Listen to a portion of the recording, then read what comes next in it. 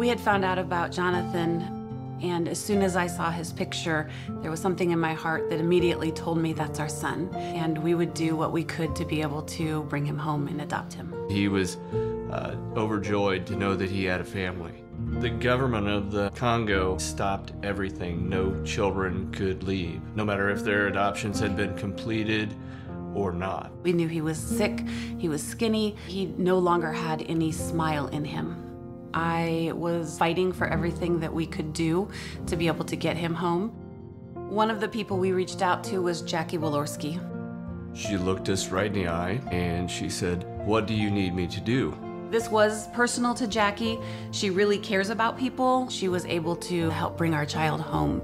Our family can't thank Jackie enough. Thank you for seeing us as a family, and thank you for bringing my son home. I'm Jackie Walorski, and I approve this message.